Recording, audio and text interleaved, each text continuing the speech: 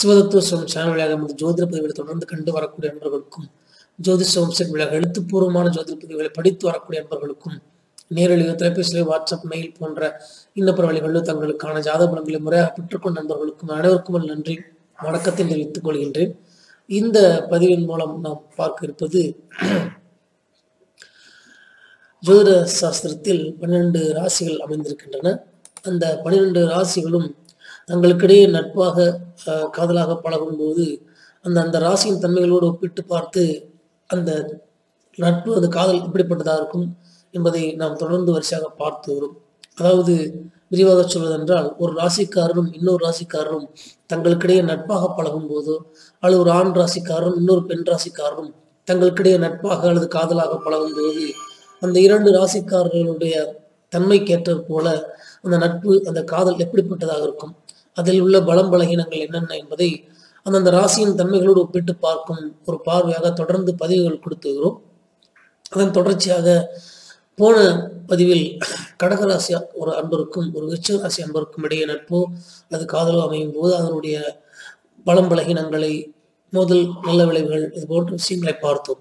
இந்த பதிவில் ஒரு கடகராசிக்காரருக்கும் ஒரு தனுசு ராசிக்காரருக்கும் இடையே நட்பு அல்லது ஒரு காதலோ அமையும் போது அந்த ராசியின் தன்மையோடு ஒப்பிட்டு பார்க்கும்போது அந்த நட்பு அந்த காதல் எப்படிப்பட்டதாக இருக்கும் என்பதை இந்த பதிவின் மூலம் நாம் பார்க்கலாம். இந்த ஒரு கடக ராசிக்காரர் மற்றும் ஒரு தனுசு ராசிக்காரர்களுக்கும் இடையே ஒரு நட்பு அல்லது ஒரு காதலோ அமையும் போது அது ஆறு எட்டு ராசிகளுக்கான ஒரு நட்பு அல்லது காதல் என்பதால் ஆஹ், பொறுமையாகவும் நிதானமாகவும் தான் இந்த இரண்டு ராசிக்காரர்களுக்கும் இடையே நட்போ அல்லது காதலோ பக்குவ நிலையை அடையும். எனவே அதற்குண்டான காலத்தை கொடுக்க வேண்டும். மேலும் இதனால் ஒரு நண்பரோ அல்லது ஒரு காதலரோ தனது மற்றொரு நண்பரிடமிருந்தோ அல்லது மற்றொரு காதலரிடமிருந்தோ குற்றம் குறைகள் காண வாய்ப்புகள் உண்டாகும். இந்த ஆறு எட்டு ராசியாக அமையக்கூடிய ஒரு காரணத்தினால். தனுசு ராசிக்காரர் அஹ், லட்சியத்தை அல்லது கடினமான காரியத்தை துணிந்து செய்ய ஆர்வம் உள்ளவர்கள். ஆனால் கடகராசிக்காரரோ துணிவை விட பாதுகாப்பிற்கு சுலபமான வழியை தேடுபவராக இருப்பார்கள்.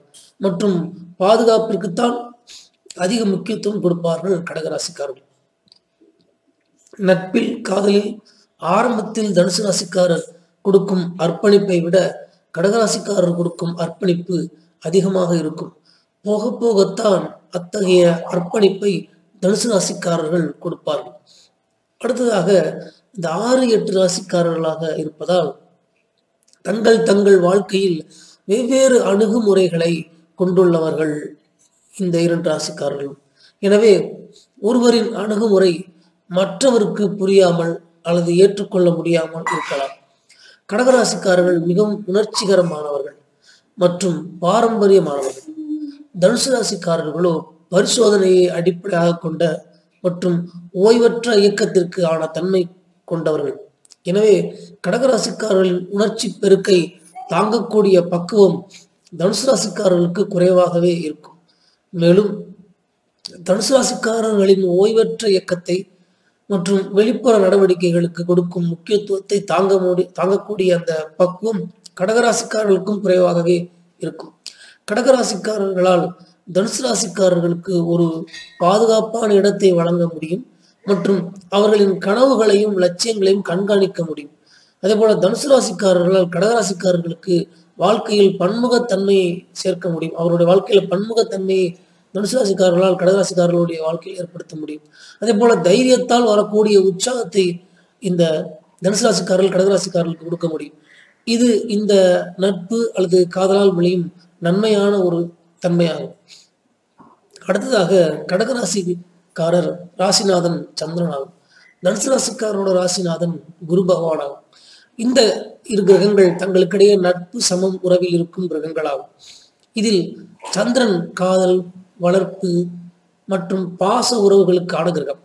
குருவோ அறிவு விரிவாக்கம் நம்பிக்கை அதிர்ஷ்டம் பயணம் ஆகியவற்றிற்கான காரகம் செலுத்துகின்ற கிரகம். எனவே இந்த இரு ராசிக்காரர்களும் நட்பாக அல்லது காதலாக பழகும் போது தங்களுக்கிடையே ஒருவருக்கொருவர் பாராட்டி நம்பிக்கை வைத்து பழகி வந்தாலும் மற்றும் தங்களின் குறிக்கோளை அல்லது ஆர்வத்தை பகிர்ந்து கொள்ளும் போது இருவரும் தங்களின் எண்ணத்தை வெளிப்படையாக அமைத்து பழகி வந்தால் இவர்கள் இருவரும் அது வளர்ச்சி தரக்கூடியதாக அந்த இருவருக்கும் இருக்கும். அதே போல மற்றும் நட்பிற்கு ஒரு ஆழத்தை கொடுக்கக்கூடியதாகவும் இருக்கும். மேலும் ஒருவரின் அறிவு வழிகாட்ட மற்றொருவரின் ஆசை பூர்த்தி செய்ய இந்த இணைப்பு உதவியாக இருக்கும். ஒருவருடைய தன்மை அறிவு வழிகாட்டக்கூடியவராக இருப்பார் அதன் மூலிமா மற்றவர்களுடைய ஆசை பூர்த்தி அடையக்கூடிய தன்மையாக இருக்கும். இது அவர்களுக்கு உதவியாக தங்களுடைய நட்புலையோ காதலையோ அமையும். அதே போல கடகம் ஒரு நீர்த்தன்மை ராசியாகும். தனுசு ஒரு நெருப்புத்தன்மை கொண்ட ராசியாகும். அதனால் இந்த இருவரும் நட்பால் காதலால் இணையும் போது தனுசு ஒரு விஷயத்தில் அல்லது ஒரு காரியத்தில் பற்று வைத்து அதிலேயே மாறாமல் கவனத்தோடு இருக்கிற ராசியாகும். ஆனால் கடகமோ இடம் தக்கவாறு நிலைமை தக்கவாறு கவனத்தை மாற்றிக்கொள்கிற ராசி.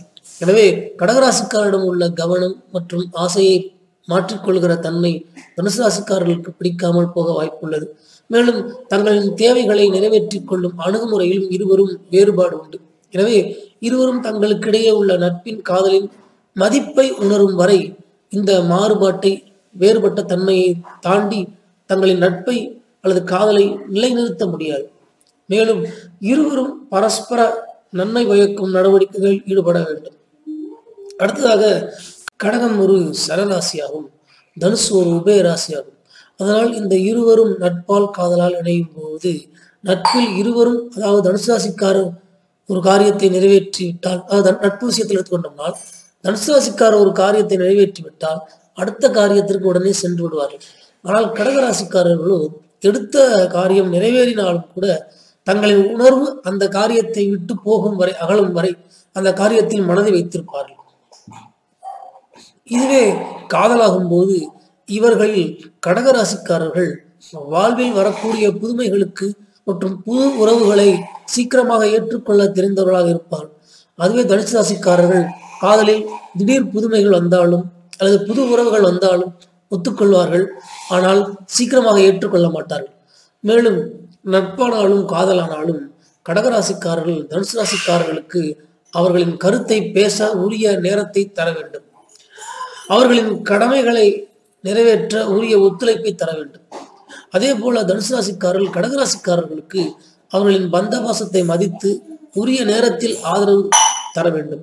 மேலும் அவர்களின் விருப்பத்தை நிறைவேற்ற உரிய ஒத்துழைப்பை தர வேண்டும்.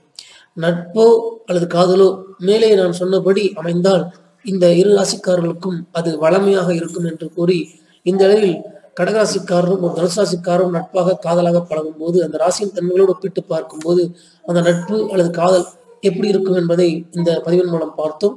தொடர்ந்து எமது ஜோதிட பதிவுகளுக்கு ஒத்துழைத்து வரக்கூடிய நண்பர்களுக்கும் ஜோதிட சாஸ்திர ஞானம் தந்து வரக்கூடிய இறைவனுக்கு நன்றி கூறி இந்த அளவில் விடைபெறுகின்றேன். நன்றி வணக்கம்.